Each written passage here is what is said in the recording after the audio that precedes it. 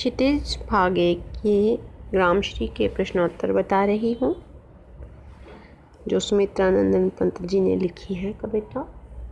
इसका भावार्थ मैंने पहले वाले अपने वीडियो में बताया था। आप वो देख सकते हैं मेरा वीडियो। इसका मैंने बहुत अच्छे से वर्णन किया है उस वीडियो में। तो आप देखिए, आज मैं आपको भी इसके प्रश्नोत्तर के बारे में बता देती हूँ। कवि ने गाँव को हरता जनवन क्यों कहा है? हरता जनमन क्यों कहा है? इसकी बात कर रहे हैं कवि ने गाँव को। इस कविता में कवि जो है गाँव का पूरा वर्णन करता है। तो हम इसमें देखेंगे कि बसंत ऋतु के आगमन पर चारों ओर पेड़ पौधों में हरियाली दिखाई दे रही है। यानी कि जब बसंत ऋतु आ जाती है तो पेड़ पौधे हरे भरे हो जाते हैं और पूरा गाँव हरा भरा दिखाई दे रहा है। जैसे मरकत, यानी मरकत एक रत्न होता है, पन्ना पन्ना जो है, एक रत्न होता है, स्टोन होता है, उसका रत्न का डब्बा किसी ने खोल दिया हो। कवि उस गाँव की तुलना किससे करता है कि जैसे किसी ने पन्ना रत्न का डब्बा खोल दिया हो।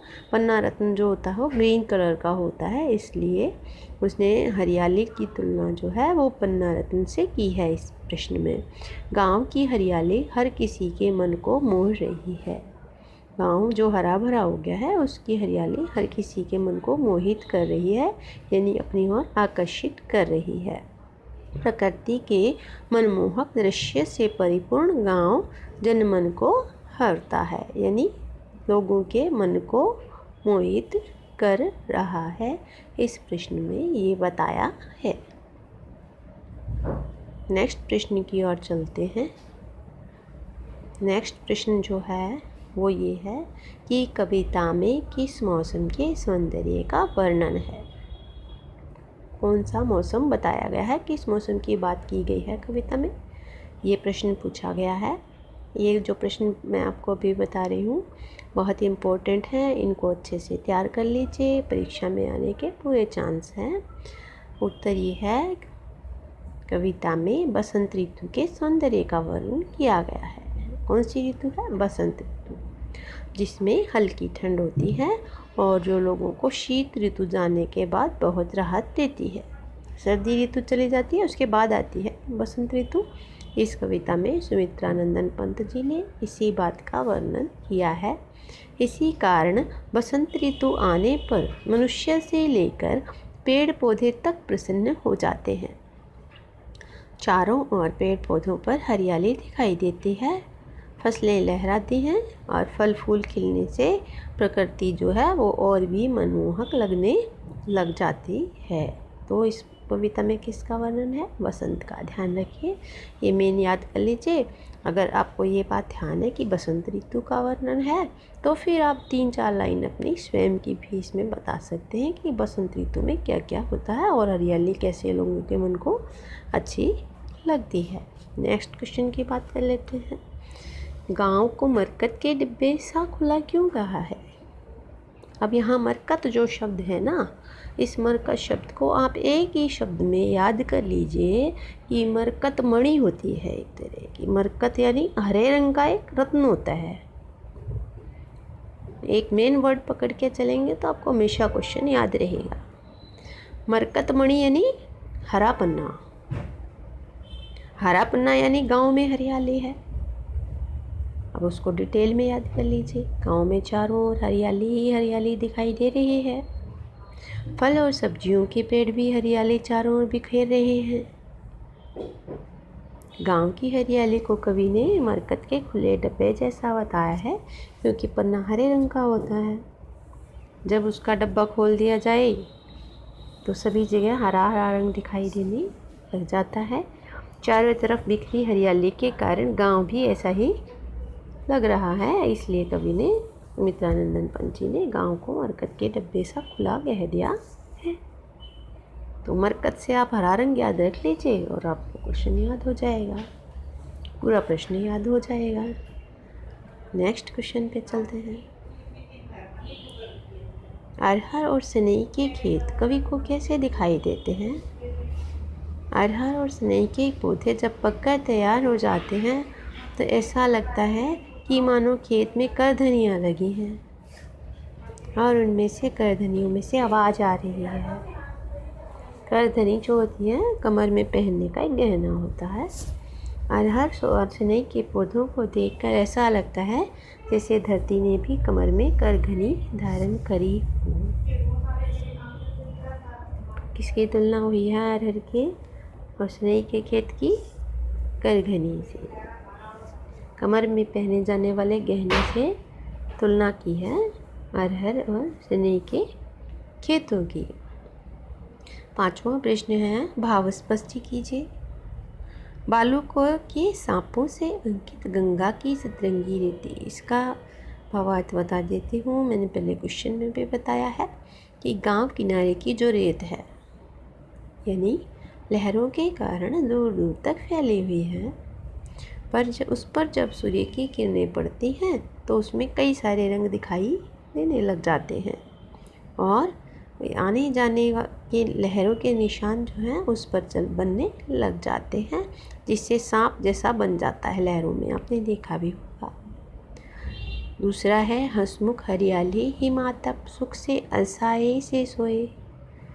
यानी कठोर जाड़े के बाद जब वसंत ऋतु आती है और धूप में थोड़ी गर्मी आ जाती है, तब ठंड की मार को झेल रहे पेड़ पौधे भी धूप की गर्मी को पाकर कुछ अलसा से जाते हैं। और हंसमुख हरियाली भी आराम करने लग जाती है। ऐसा लगता है जैसे वह हंस रही है। हल्की हल्की गर्मी के कारण हरियाली और धूप दोनों सोए हुए प्रतीत होते हैं। देखिए, इस कविता के बारे में मैं ख़ास बात ये बता देती हूँ इस कविता में प्रकृति का परसोनिफिकेशन किया गया है। परसोनिफिकेशन क्या होता है? मानवीयकरण। मानवीयकरण यानी मानव से तुलना की गई है प्रकृति की। तो आप ये वर्ड जो है, एक लाइन ये अच्छे से ध्यान रख लीजिए कि प्रकृति का मानवीयकरण किया गया है इस कविता में। और आप अपने किसी भी उत्तर में इस शब्द का यूज़ करिए तो आपका एक उत्तर अच्छा सा बन जाएगा। मैं साथ में आपको प्रश्नों के साथ साथ में टिप्स भी देती रहती हूँ। तो आप उन पर भी ध्यान कीजिए और आपकी एक अच्छी सी तैयारी शुरू हो जाएगी। मैं जो जितने भी चैप्टर बताती हूँ आपको, आप ध्यान से सुना कीजिए और आप ये जानकारी सभी साथियों को भी शेयर कीजिए ताकि इन अच्छे क्वेश्चंस का फ़ायदा सभी को मिल सके। और हो सके तो लाइक, शेयर एंड सब्सक्राइब कर लीजिए चैनल को। नेक्स्ट प्रश्न पे आ जाते हैं। निम्न पंक्तियों पंक्तियों में कौन सा अलंकार है? अलंकार देखिए, मैं आपको एक अलग चैप्टर में अभी पढ़ाऊँगी। नेक्स्ट चैप्टर में अपने मैं एक वीडियो देने वाली हूँ अलंकार के बारे में, जिसमें मैं अलंकार के टिप्स भी आपको बताऊँगी। तिनकों के हरे भरे तन पर हिल हरित रुथिर है, रहा झलक। इसमें इन पंक्तियों में पुनरुक्ति प्रकाश, अनुप्रास और मानवीयकरण अलंकारों का प्रयोग हुआ है, जैसे कि मैंने पहले भी आपको बताया था। इससे पहले वाले क्वेश्चन में प्रकृति का मानवीयकरण किया है, किया गया है। अनुप्रास अनुप्रास कहाँ पर है? देखिए, हिलहरित रुधिर है, रहा में है और वर्ण की आवृत्ति है। जिन शब्दों की वर्णों की आवृत्ति होती है, यानी बार बार एक ही वर्ण का प्रयोग किया जाता है। यहाँ पे है का देखिए, हिल में है है और हरित में भी है है। रे का रित में है, रुधिर में रह है। तो जिन शब्दों की वर्णों की आवृत्ति की जाती है, उन्हें अनुप्रास अलंकार कहते हैं। पुनरुक्ति प्रकाश जो है हरे हरे दो शब्दों का जो बार बार वर्णन किया गया है। हरे हरे। दो बार एक ही वर्ड का यूज़ हुआ है तो इसमें पुनरुक्ति प्रकाश है। मानवीकरण तिनकों का तन, हरित रुधिर, तिनकों का तन यानी मनुष्य जैसा शरीर है, यानी मानवीयकरण हुआ है। हरा खून हरा खून भी मानवीयकरण है तो इसमें इन तीनों अलंकारों का प्रयोग हुआ है। अलंकार के बारे में मैं आपको, जैसे कि मैंने पहले बताया, एक बहुत अच्छा उसके टिप्स एंड ट्रिक्स भी वीडियो में आपको बना करके दूँगी। अगर आपको मेरे वीडियो पसंद आते हैं, नहीं भी पसंद आते हैं तो लाइक कर दीजिए, हम और अच्छा बनाएँगे। अगर आपको पसंद आते हैं तो लाइक कर दीजिए नो प्रॉब्लम और मेरे चैनल को सब्सक्राइब कर ही लीजिए फ्रेंड्स तो अगले चैप्टर पे मिलेंगे। हर सब्जेक्ट का मैं आपको वीडियो बना के देती हूँ। मेरे बहुत सारे सब्जेक्ट हैं। आपको जो अच्छा लगे, आप सजेस्ट भी कर सकते हैं कि अब की बार इस पे हमें वीडियो चाहिए। या आपका कोई क्वेश्चन है तो आप कमेंट बॉक्स में कमेंट लिख दीजिए और चैनल को सब्सक्राइब कर लीजिए। आपका सब जो नॉलेज है, वो आपको बिल्कुल फ्री में मिल रहा है। इसकी कोई भी हम पेमेंट आपसे नहीं ले रहे हैं। तो आप ये ज्ञान औरों को भी बाँटें। जितना आप बाँटते हैं ज्ञान, उतना ही बढ़ता है।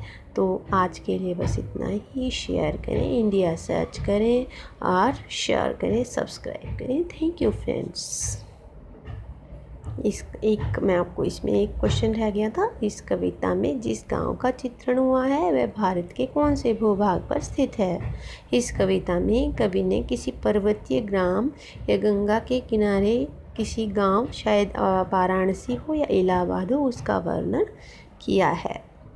एक क्वेश्चन है, भाव और भाषा की दृष्टि से यह कविता कैसी लगी? इसका वर्णन अपने शब्दों में करना है।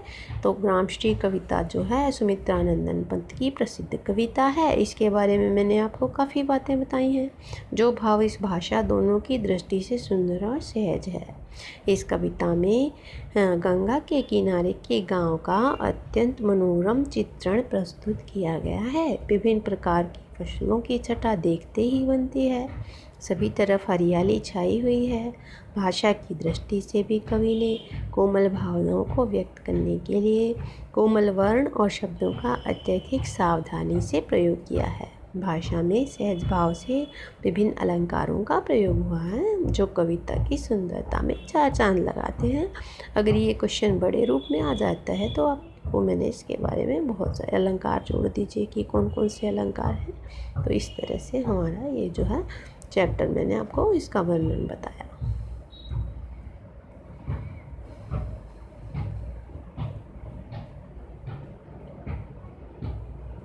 Thank you for watching.